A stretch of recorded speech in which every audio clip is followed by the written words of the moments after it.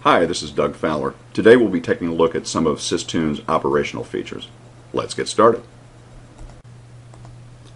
The first thing we need to do is configure and select our audio device. So configure, select device, and here we see the device configuration options. I have a variety of standard Windows drivers available to me. I'm using today a PreSonus Firebox, so I will select the Firebox ASIO driver. I have no options for dynamic range over here, so that stays at 32-bit. And for a sampling rate, I have these available to me, but I will choose 44.1 kilohertz because I do not need frequency response greater than 22.050 kilohertz. It's outside the operating range of this loudspeaker, so take these options, hit OK, and that's it. Now let's look at some of the items on the SysTune control surface. In this area, we see the option to select the signal or normally microphone channel, and we can do that by selecting any of these. I have available to me six inputs on this device, so I can choose any of these. Today I have the microphone connected to channel 1. If we wish to do a multi-channel measurement, we select and deselect that here. Down here we have the reference channel, or normally the stimulus signal channel. And again, six uh, channels available to me, so I can select any of these if I wish. The out setting is to be used only when using the EASERA Gateway or the Avion X.8 device. Selecting out causes SysTune to monitor its internal generator for a reference signal but if you're not using one of these devices, uh, SysTune is unable to tell what the latency is, and so the time offset will be incorrect, and that's a problem. So only use the out setting if you're using one of those two devices. Other items here are the delay offset for setting the delay between the signal and reference channels. We can zero it by clicking on this. We can set it to the peak of the impulse response by clicking this one or we can put it in auto mode and it will cause SysTune to continuously track the peak of the impulse response. Directly below that is the calibrate dialog box which allows us to calibrate the microphone with a known um, SPL source.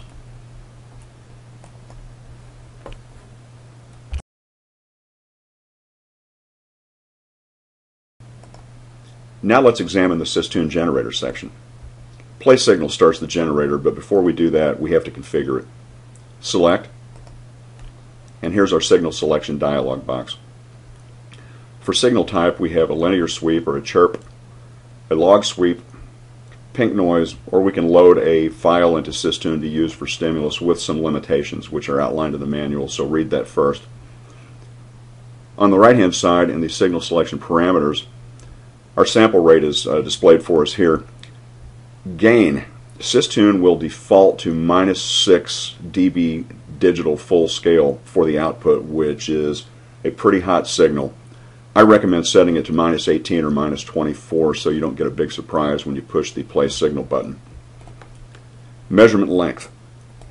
In every case, we will set the SysTune generator signal size to the same FFT size that we select for our measurement. We'll do that shortly. So we've selected a 1.49 second time window for our SysTune generator signal and we will do the same thing for the FFT size. And that's it for the generator section.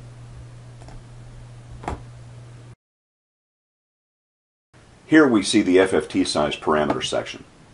The FFT sizes or measurement time lengths available to us are determined by the sampling rate.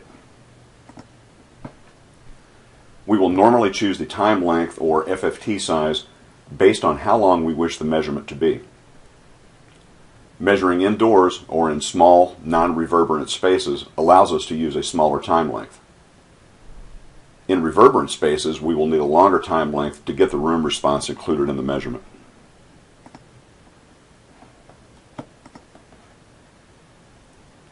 In most cases, a time length of somewhere between 1 and 3 seconds will be sufficient.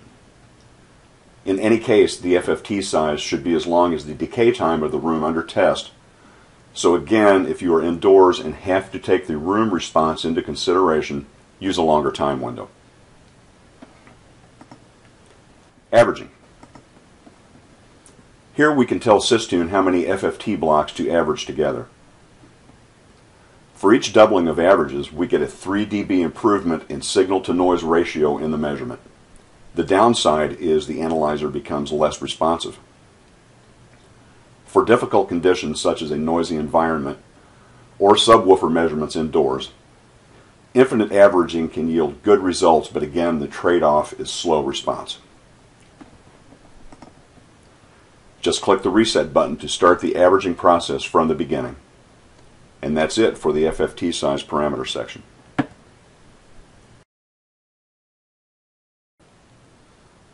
Let's look at SysTune overlays next.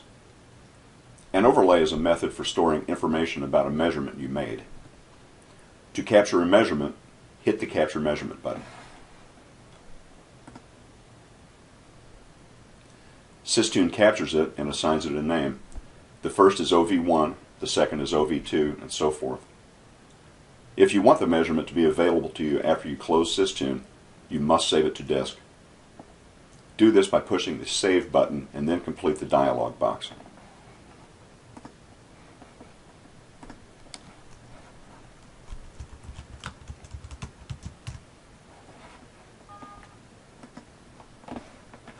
If you exit SysTune and have unsaved overlays, SysTune will prompt you to save them. If you cancel at this point, SysTune will exit and your overlays will not be saved, so take this into consideration. To load a saved overlay into SysTune, use the Load button.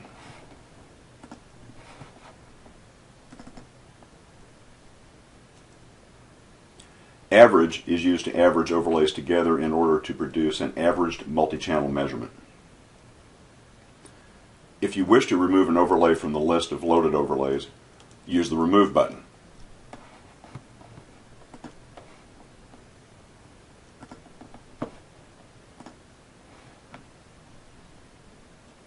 Note this does not delete it from disk but merely removes it from the list. Once the overlay is captured, we can do a few things to it. An important control is the V button. V stands for visible, and pushing this hides and unhides the overlay. We'll hide the overlay, which is directly on top of the measurement that we took. Now we'll hide the current measurement. Now the overlay is back. We can also change the color. The current measurement is still hidden. Behind the dot dot dot is a dialog box with some advanced options including gain. These are covered in the manual.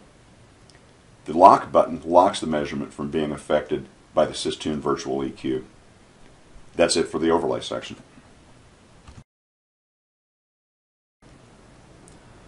Let's see how we can change the SysTune display. Zoom. Zoom in or zoom out. Using the mouse, left click and drag in the horizontal axis to change the view. For frequency-based measurements such as magnitude and spectrum, this zooms into a tighter frequency view. Like this. We'll zoom in from 100 to 1000 hertz. Left click, hold, drag it over, release.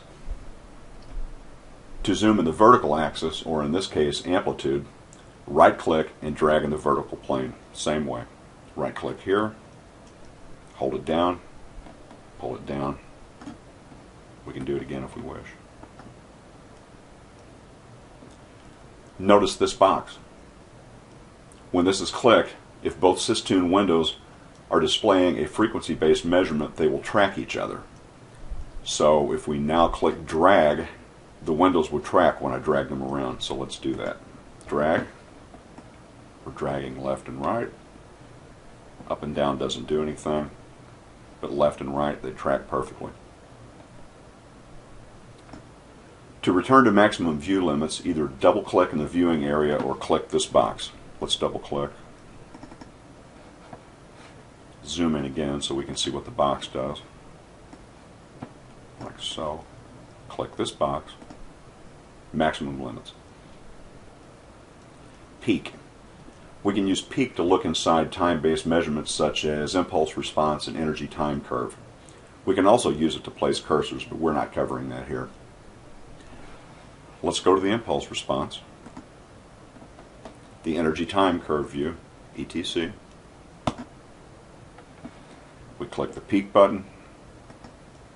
Now, Go up here to the peak of the impulse response, click it, it's a left click, hold it, pull it down, and we can see that these two points in the energy time curve are about four tenths of a second apart. One other control. Let's go back to the impulse response. Wrap at half length. This pulls the peak of the impulse response to the center of the screen so it's easier to work with.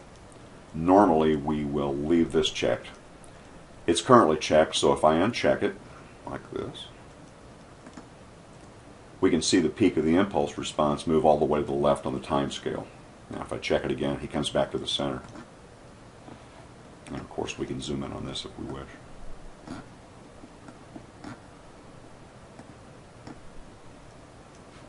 Okay, that's it.